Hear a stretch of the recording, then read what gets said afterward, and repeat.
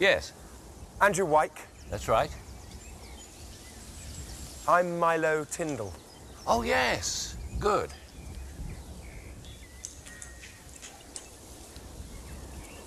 Glad to meet you. You got the train to Childbury, did you? I drove. Oh, you drove? That's my car. Uh, the little one?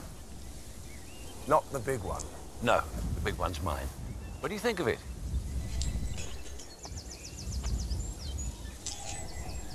Very handsome. Yeah, it is, isn't it?